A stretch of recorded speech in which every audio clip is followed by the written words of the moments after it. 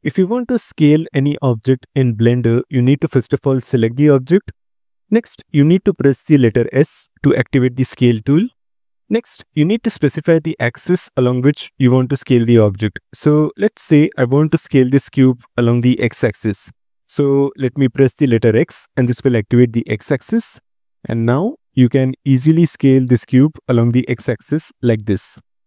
Similarly, if you want to scale this object along the y-axis, first select the object. Next, press the letter S and this will activate the scale tool. Next, press the letter Y and this will activate the y-axis. And now you can easily scale this object along the y-axis like this. Finally, if you want to scale this object along the z-axis, first select the object.